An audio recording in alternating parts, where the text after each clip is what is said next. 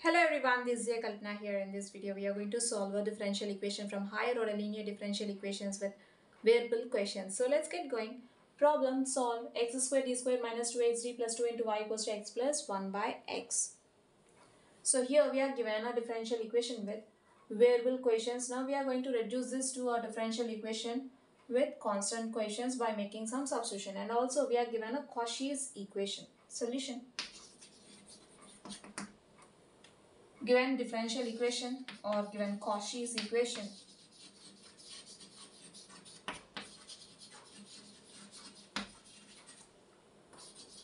X square d square minus 2xd plus 2 into y equal to x plus 1 by x right?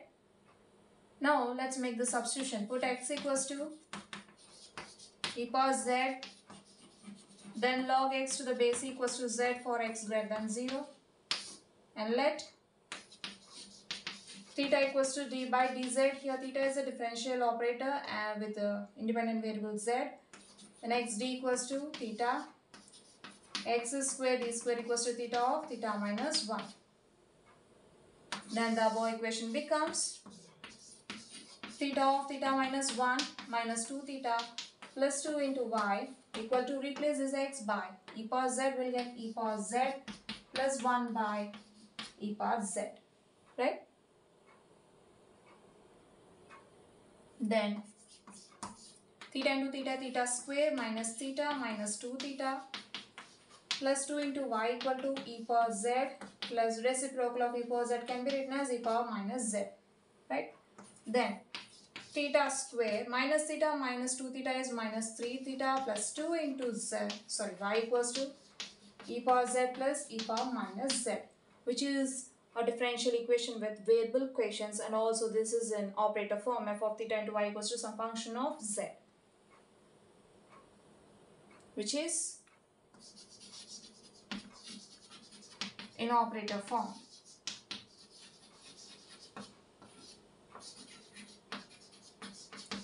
f of theta into y equals to q of z where f of theta equals to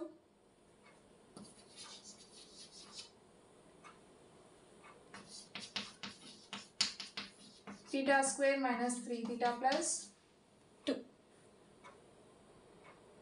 Now we need to find the general solution to the given equation which is given by y equals to yc plus yp. Now first we will find yc using the auxiliary equation.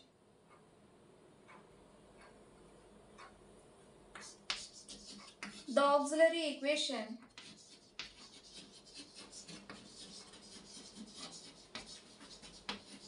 Is f of m equals to 0 where f of m equals to? We have f of theta. Theta square minus 3 theta plus 2 right? Let's replace differential operator by m so that we'll get f of m equals to m square minus 3m plus 2 now our auxiliary equation becomes m square minus 3m plus 2 equals to 0. Now split this minus 3m as minus 2m and minus m. We'll get m square minus 2m minus m plus 2 equal to 0.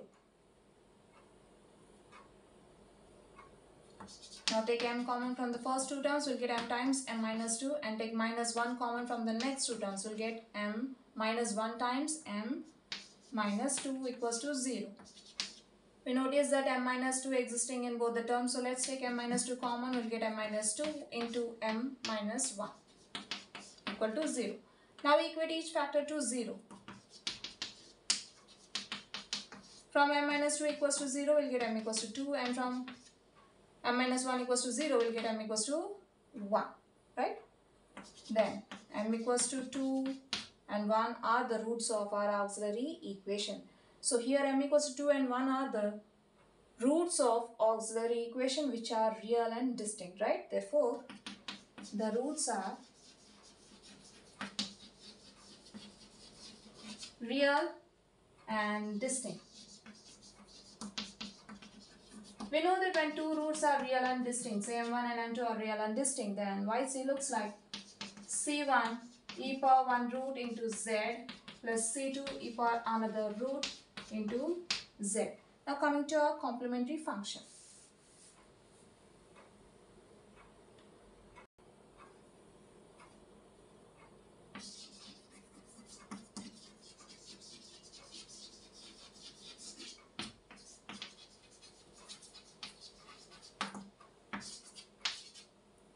Yc equals to c1 e power 1 root into z plus c2 e power another root into z. Right? This is equals to c1 e power 2z plus c2 e power z.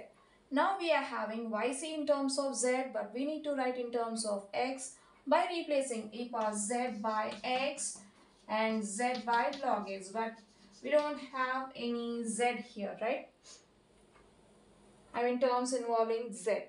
We have only e power z, right? So, we'll replace e power z by x here. But before replacing e power z by x, we'll write e power 2z as e power z whole square plus c2 into e power z, right? Now replace e power z by x and we'll get c1x square plus c2x. Therefore, yc equals to c1x square plus C2x. We got YC now. Let's find YP. Particular integral.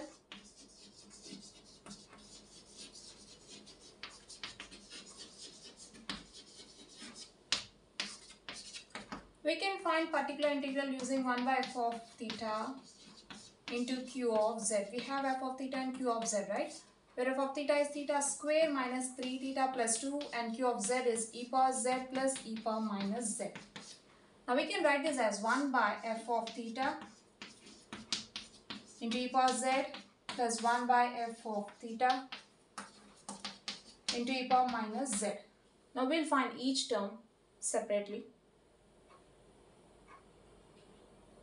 First one, 1 by f of theta into e power z. So this is of 1 by f of theta into e power az form, right? We have f of theta, theta square minus 3 theta plus 2. Always remember that the denominator must be non-zero. If we get the denominator 0, we'll get something like this 1 by 0 into e power z since 1 by 0 is undefined so total term becomes undefined so the denominator must be non-zero right now Compare e power z with e power az then for a equals to 1 we'll find f of a which is equals to f of 1. Just replace theta by 1 we'll get 1 square minus 3 into 1 plus 2 which is equals to 1 minus 3 plus 2 which is equals to 1 plus 2 is 3 minus 3 0 right. The denominator is 0 by replacing theta by 1. So what we'll do, we'll just write one independent variable into 1 by find the derivative of f of theta. If f of theta is theta square minus 3 theta plus 2, then f dash of theta will be 2 theta minus 3, right? Replace, I mean write f dash of theta in the denominator. Now check f dash of 1 is equals to 2 into 1 minus 3. 2 minus 3 is minus 1 which is non-zero since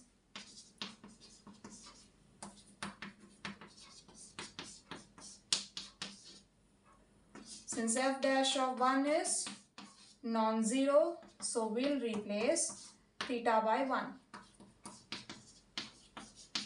Right, this equals to z into 1 by 2 minus 3 into e power z, which is equals to z into 1 by 2 minus 3 is minus 1 into e power z.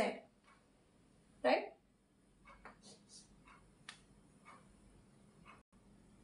This becomes minus z equals z. Right? Now we have 1 in terms of z. We need to write in terms of x. So what we'll do, we'll just replace e power z by x and z by log x. Then this becomes minus log x into x. Right? We can also write this as minus x log x. So this is the result obtained from the first term. Now coming to the second term. 1 by f of theta into e power minus z. So this is 1 by f of theta into e power az form. We have f of theta equals to theta square minus 3 theta plus 2, right? Now compare e power minus z with e power az. Then for a equals to minus 1, we'll find f of a which is equals to f of minus 1. Replace theta by minus 1, we'll get minus 1 whole square. Minus 3 into minus 1 plus 2 which is equals to 1 plus 3 plus 2. 1 plus uh, 1 plus 3, 4, 4 plus 2, 6, non-zero. Since f of minus 1 is non-zero, so we can dare to replace theta by minus 1 in the denominator. We'll get minus 1 whole square. Minus 3 into minus 1 plus 2 into e power minus z. This equals to 1 by 1 plus 3 plus 2 into e power minus z. Which is equals to 1 by 6 into e power minus z. Right. Now we can write e power z as, sorry, e power minus z as e power z whole power minus 1. This is 6, okay? Because we are having second term in terms of z and we need to write in terms of x so that we can replace e power z by x here, right? Now just replace e power z by x, we'll get x inverse. We know that x inverse is 1 by 1 by x, which is equals to 1 by 6x. So this is the result obtained for, from the second term. Okay. Now coming to the YP. See this is not minus, it's plus because we have 1 by 4 of theta into e power z plus e power minus z, right? Which is equals to 1 by f of theta into e power z plus 1 by f of theta into e power minus z. So here we get plus not minus. Fine.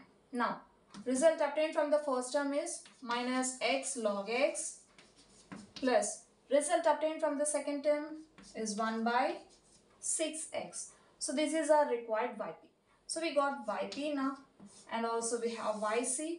Let's write the general solution.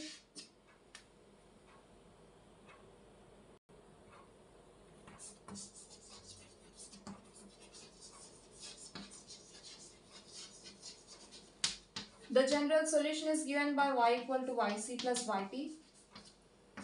Then y equal to yc we have c1x square plus c2x and yp is minus x log x plus 1 by 6x. This completes the problem. So we have seen a problem from higher order linear differential equation with variable coefficients in this video. Hope you'll understand. We'll see you in the next video. Until then, bye bye.